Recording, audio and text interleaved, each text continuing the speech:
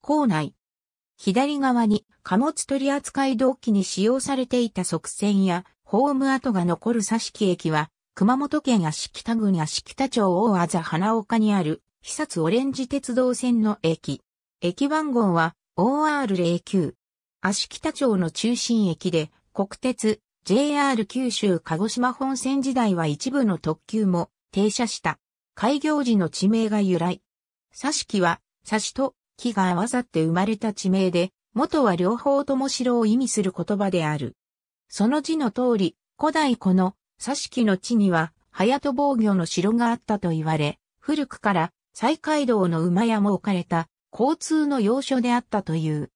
また、かつてこの地を訪れた工房大師が一本の木を地面に刺したところ、その木が根を張ったことから、指木という地名になり、その後に佐式に転じたという説もある。島式一面二線と相対式一面一線のホームの地上駅、NPO 法人七浦ステーションが管理する有人駅である。一番線の上り側と二番線の隣には貨物測成や貨物ホームの跡地が残る。トイレは改札内、外にあり、改札内は男女共用、改札外は男女別。いずれも推薦式。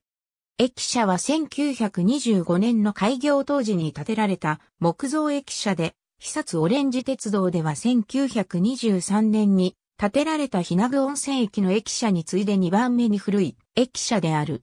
列車は基本的に1番線発着で、列車交換がある時のみより列車が2番線に入る。2番線は、上り列車用の場内信号機や出発信号機を設けていないため、上り列車が入ることはない。かつての国鉄、JR 時代は、駅舎側の1番線が上り列車、3番線が下り列車の専用ホームで、中線の旧2番線のみ、上下列車のどちらからも発着できる構造であった。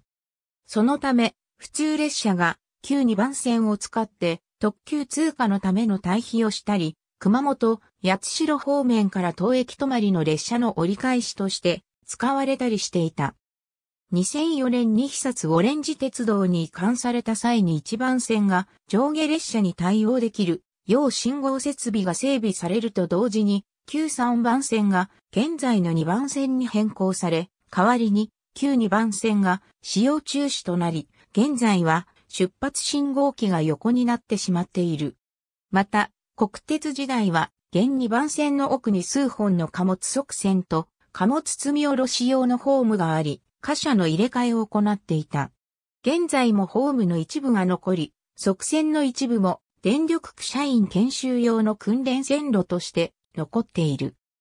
国鉄 JR 九州時代は待合室内に鉄道小荷物窓口、出札窓口とキオスクが設置され駅近くの水洗いや敷田支店が調整した駅弁の販売も行われていたが、小荷物窓口は国鉄時代の1986年に閉鎖、駅弁も1990年代後半に業者の倒産により発売が終了し、キオスク自体も経営移管の際に閉店となり、店舗も撤去された。小荷物窓口跡には、大型の掲示板が、キオスク店舗跡地には、自販機コーナーが設けられている。現在も当時の店舗の基礎部分がわずかに残っている。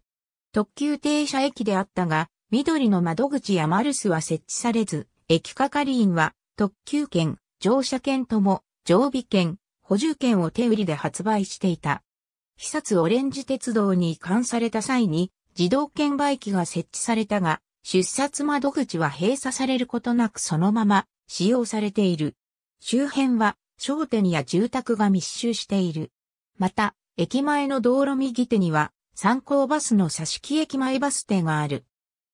かつては駅前から佐敷港へのフェリー接続便や海沿いの大崎、女島、福浦、平国を経由して水俣に向かう路線、鶴ヶ浜海水浴場や鶴木山方面への路線、山側の白石駅、勝俣、古石、長崎、百木、田川方面へ多数の路線が発着していたが、町内の急激な過疎化と乗降客数の激減のため、水俣山高道の駅田の浦間以外の路線は2015年10月1日のダイヤ改正までにすべて廃止され、足北町営のコミュニティバスや乗り合いタクシー、スクールバスに転換された。臨時快速、オレンジ食堂の隣の停車駅は、列車記事を参照のこと。ありがとうございます。